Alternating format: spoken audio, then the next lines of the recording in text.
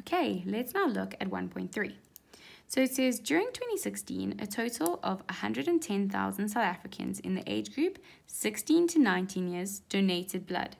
The SA, the SANBS decided to appeal to eligible high school learners to donate blood. I'm sure you've had this some of you at your school. They actually come to your school and they ask you to donate blood.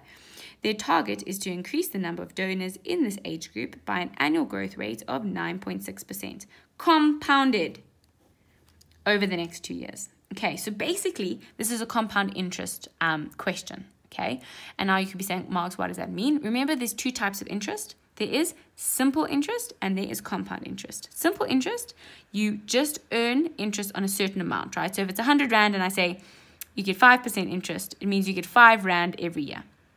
Whereas with compound interest, you get interest on interest, right? So if I give you 100 Rand and I say, okay, I'm going to give you 5% compound interest, the first year you get 5% on 100, right, which gives you 105 Rand at the end of the year.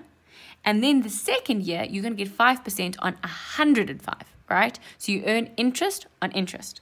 So let's now see what they're asking us. They say calculate, showing all calculations, the target number of blood donors in the age group for 2018. Okay, so let's write this down.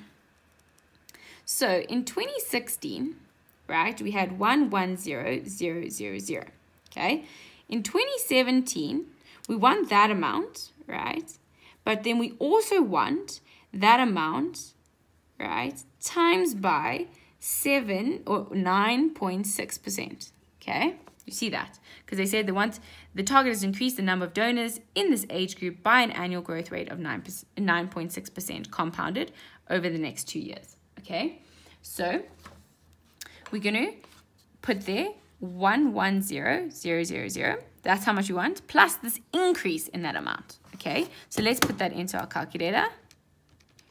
Plus, make sure you type it in correctly. Okay, and that gives us 120560. That is in 2017. But we don't just want it for 2017, they've asked us for 2018. So in 2018, we're going to do exactly the same thing, except our starting amount is the amount in 2017 and then we want to increase that amount by again 9.6%.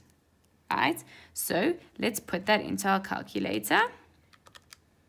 120560 times 9.6%.